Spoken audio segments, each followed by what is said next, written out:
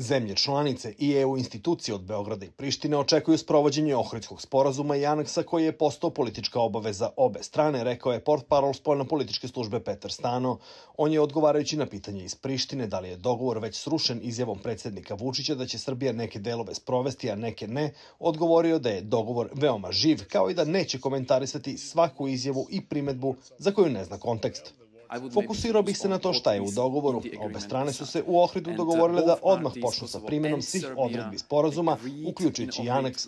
To je ono što je dogovoreno. Tu je politička posvećenost koju su izrazile obe strane i to je ono što od njih očekuju zemlje članice i evropske institucije.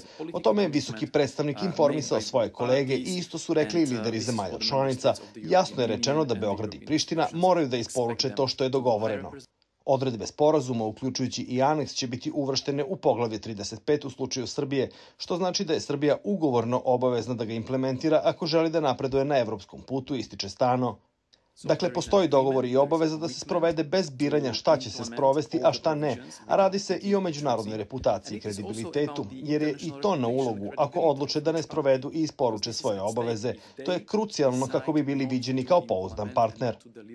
Razvoj događaja na terenu i potezi dve strane će se pažljivo posmatrati, kaže Stano, i to će biti mera za zemlje članice i međunarodne partnere kako će se procenjivati napredak implementacije. On dodaje da je u Ohridskom sporazumu jasno naznačeno da u suprotnom postoje političke, reputacijske, ali i finansijske posledice.